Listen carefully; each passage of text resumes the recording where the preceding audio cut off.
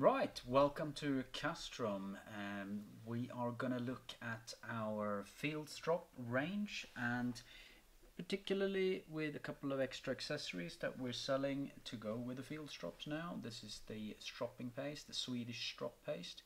We have uh, three different grades. You've got the coarse, you've got a medium and a fine. And uh, these are uh, made from aluminium oxide uh, and chromium oxide. But first, a little bit about stropping. So, um, stropping is something that can be done to maintain the edge of the knife. And uh, uh, when it comes to stropping, this is something that can actually take the place of honing in a lot of situations. Uh, our strops are made with uh, the highest quality vegetable tanned leather. Uh, this leather is particularly strong. It's a um, a leather that is uh, Italian made. Uh, the entire strops are made in Europe by hand and they have a fine side and they have a coarse side which is sort of like a flesh side of the of the leather.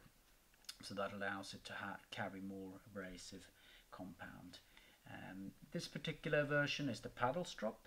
It's a slightly larger strop that is suitable for use at home or maybe in a base camp or something like that so uh, that's a great larger product that's easy to use. And then we also have the field strop. This is a much more compact pocket size uh, strop which also has the same 4 millimeter thick uh, leather uh, on each side. And each of these are uh, made with a, a, base or a center of oak wood.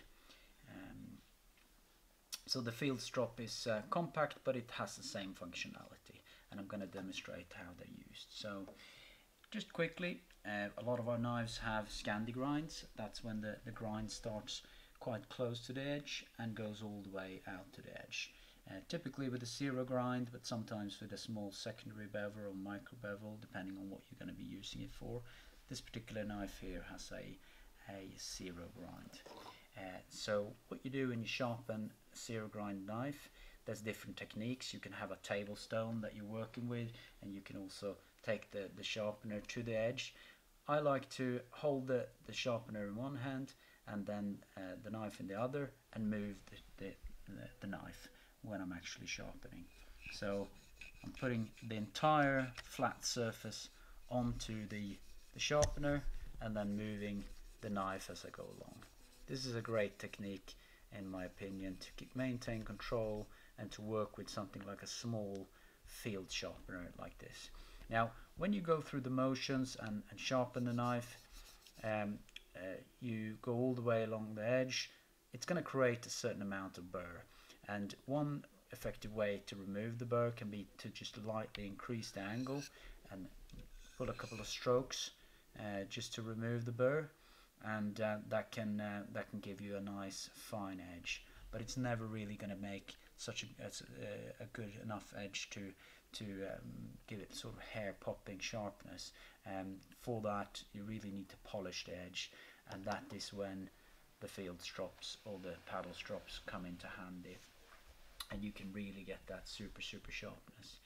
So uh, just to demonstrate the the way that uh, the stropping is done.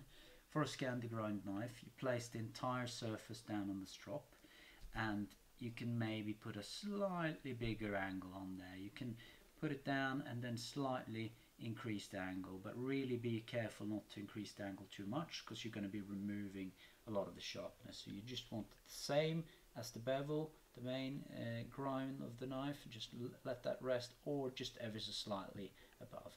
And then you're pulling, and as you're pulling, you're also allowing the whole knife edge to touch the surface and then you're doing exactly the same uh, thing on the other side. So you're you're allowing the, the edge to slide across the surface. Starting on the coarse side. And once you've got this uh, motion in your muscle memory you can of course increase the speed. And uh, once you've done this a couple of hundred times you can go really fast and, and this becomes like something that you can do almost automatically and, and you can do it really quickly once you've used the knife.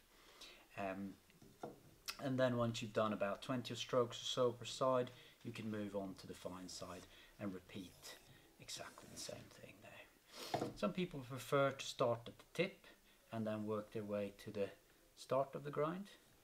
This is entirely up to you how you want to do it, whatever you feel most comfortable with. The important thing is that you maintain the correct angle and in that for that reason I find that it's easier to start by finding the angle of the knife, finding an entire bevel, putting that flat on the surface and then just pulling or ever slightly increasing from that and then pulling from there. I find that that's, that's the best way to maintain a correct angle. Another way to do this, if you are used to using a table stone, like a whetstone or something like that, Japanese whetstone, and you're used to, to manually working on a, on a stone that is flat on the ground uh, or flat on a table, then um, placing your strop on the table in the same fashion is one way of, of uh, making it easier for you to learn the correct movements. So all you're really doing is putting it flat down and you can then use both of your hands to to work with the with the strop. And this is really just as easy once you know the correct pattern of movement.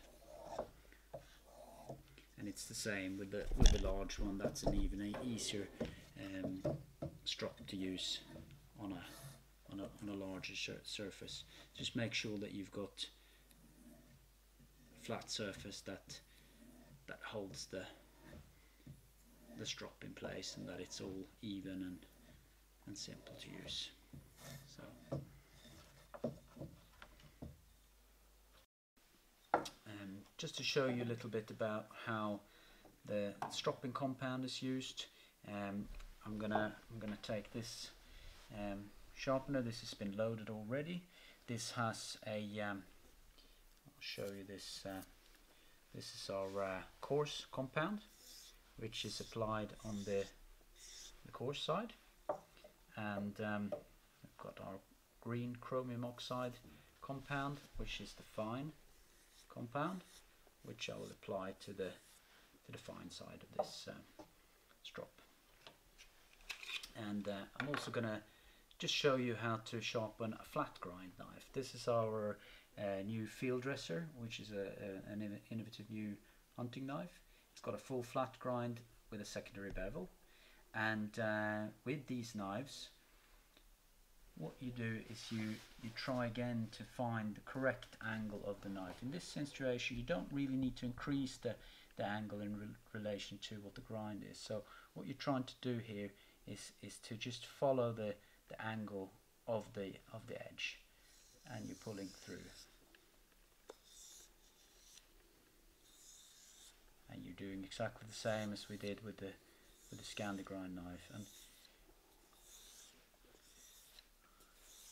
so uh, when you finished on the coarse side, uh, you turn it around and you're doing exactly the same thing on the fine side. Now with the full flat grind you don't have to be as careful to um, keep a uh, higher angle. You can you can keep a fairly low angle because the the the pressure point is much smaller and you're going to be able to sink down a little bit into the leather and therefore you don't have to find the exact angle. Just be careful not to keep a too extreme an angle. So keep it at about 15 degrees. That's that's suitable. 15 to 20 degrees is typically suitable, suitable for most full flat grind and hollow grind knives.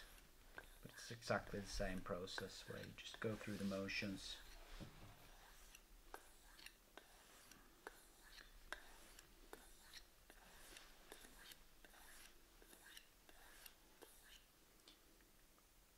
And uh, the same thing with the with the Scandi grind.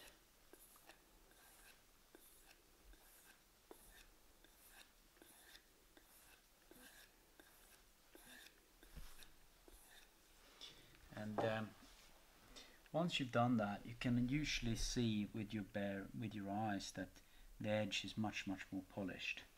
And um, you can definitely feel it. So and there's um, it's very beneficial to use the strop uh, immediately after use so that you maintain the sharpness of the edge at all times. You don't have to take it to a, to a sharpener or a honing stone all the time if you maintain your edge with a with a strop. So that's a great way of, of just keeping your, your edges really sharp. And the same same thing with the the full flat grind. You can you can really see that the, the edge is, is much more polished when you've used the strop. So a great way to to keep the knives more um, maintained and prolong the life of them. If you find that you're uh, overloading the uh, strop with compound or over time when it builds up, it um, starts to feel a little bit ineffective and you feel that you want to clean it off again, that's no problem. All you do is you take the sharp part of the knife, the, the sharp part of the spine, and just scrape off the material. So you can you can easily remove the the stropping compound like that and just reveal a completely new fresh surface that you can work with again and reapply new fresh compound. So no problem to just just uh, clean it off. You can also use um, any any relatively sharp uh, edge just to scrape that off. So uh, that's it really what I wanted to show you today. It's the stropping uh, process the fact that we've got these great new stropping pastes that you can buy. Uh, check out also our other uh, um, product care uh, products like the Lapland Leather Wax, which is great for leather. And um, follow us on YouTube for more tips on uh, how to maintain your knives. Thank you very much.